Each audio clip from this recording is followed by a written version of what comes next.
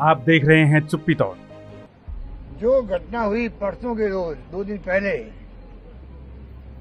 वो घटना इतना हिला के रख दिया हम सबको। मुझे जो दुख है, वो मैं जान सकता हूँ, क्योंकि पूरे देश में मैसेज चला गया, जैसे मैं मुख्यमंत्री बना जाना चाहता हूँ, इसलिए सब कुछ हो रहा है। मैंने सोनिया जी से भी सॉरी फील किया है, माफ़ी मांगी है, क्योंकि एक सिंपल प्रस्ताव जो होता है एक लाइन का, वो परंपरा हमारी है कि एक लाइन का प्रस्ताव तो हम करते ही करते हर मीटिंग के अंदर करते हैं, चाहे चुनाव हो, चाहे मुख्यमंत्री के बारे में कोई फैसला करना हो, एक फैसला करते वक्त में एक लाइन का प्रस्ताव करने का हमारे यहाँ हमेशा से ही कायदा रहा, आप सबको मालूम है, आप सबको मालूम है। दुर्भाग्य से उस वक्त ऐसी स्थिति बन गई, वो प्रस्ताव पास नहीं हो पाया। क्योंकि मैं सीएम लीडर हूँ वहाँ पर, मुख्यमंत्री हूँ। और मैं उस प्रस्ताव को पास नहीं करवा पाया। कान जब कुछ भी रहे होंगे।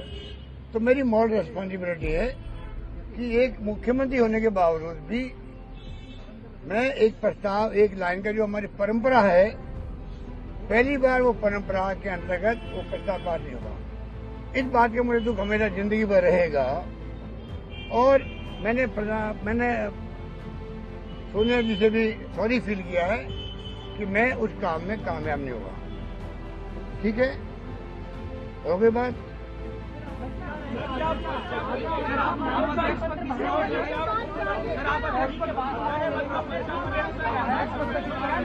देखिए देखिए देखिए, ये घटना जो हुई है, इस घटना ने कई तरह के मैसेज दे दिए पूरे देश के अंदर? और मीडिया भी हमारे जो है कई बार किंग मेकर बन जाता है।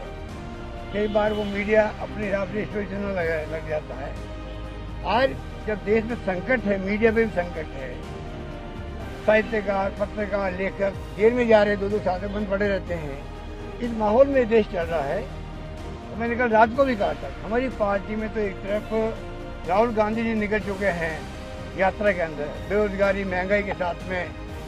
जो देश का हालात है शांति सद्भाव प्रेम भाईचारा रहे ये संदेश दे रहे पूरे मुल्क को वो। और हिंसा की कीमत में नहीं होनी चाहिए।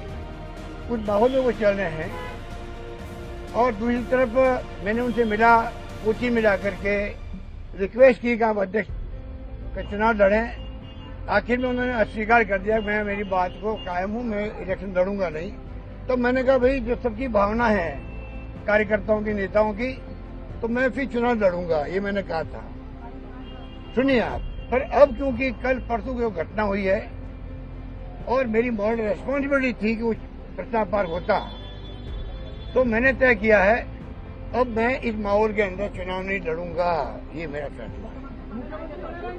ये ये ये फैसला मैं नहीं करूँगा, ये फैसला सोनिया गांधी जी करेगी, कांग्रेस अध्यक्ष करेगी। Thank you thank you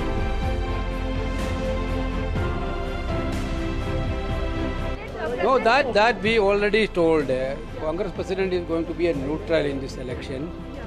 Let us wait for the nominations. We will get a clear-cut picture tomorrow evening. Mr. Wait Ashok Gehlot said that he is taking moral responsibility, he is not contesting. Yeah, yeah. Is there a possibility now Mr. Ashok Gehlot continuing as Chief Minister of the state or he, is to Congress President? The, he, uh, that, that that decision Congress president will take within one or two days.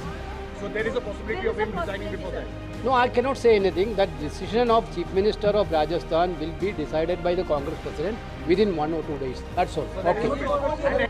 आपको हमारा ये video कैसा लगा अपनी प्रतिक्रिया देकर हमें बताएँ अगर आपको ये वीडियो पसंद आया हो तो इसे लाइक व शेयर कर हमारा हौसला बढ़ाइए साथ ही ऐसे वीडियो लगातार पाते रहने के लिए हमारे चैनल को सब्सक्राइब कर बेल आइकन को दबाना न भूलें जय हिंद जब अन्याय अत्याचार व भ्रष्टाचार का छाया हो अंधकार जब बेरोजगारी, भूखमरी एवं शोषण करे निरंतर प्रहार, जब हक हुकूक पर चलने लगे तानाशाही की तलवार, और जब नाकाम दिखे सरकार, इंसानियत होने लगे जार जार तब बेहद ज़रूरी हो जाता है चुप्पी तोड़ना।